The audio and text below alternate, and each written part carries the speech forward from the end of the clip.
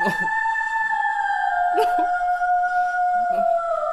no, no.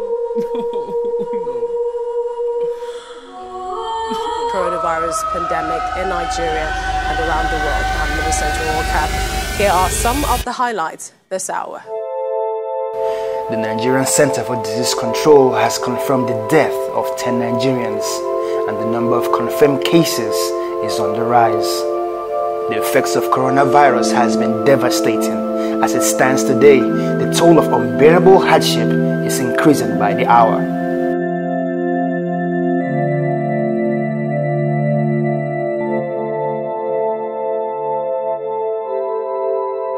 It is left to be seen the influence the pandemic will have on the everyday life of the average Nigerian.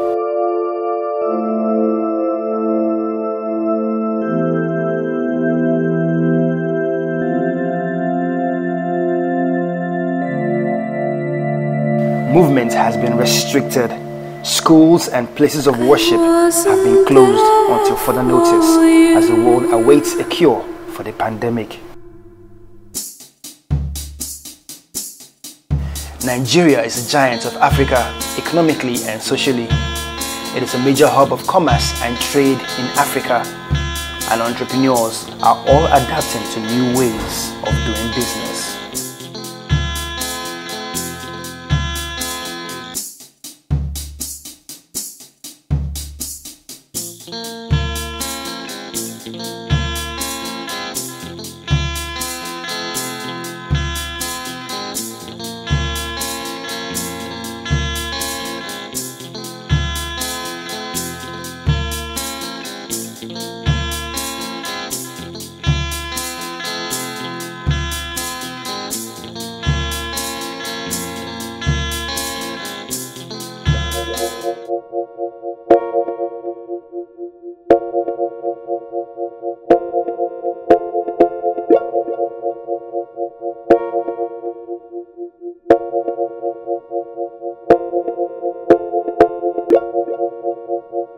The streets of Lagos, Abuja, and Port Harcourt, Nigeria's most populous cities, are on lockdown.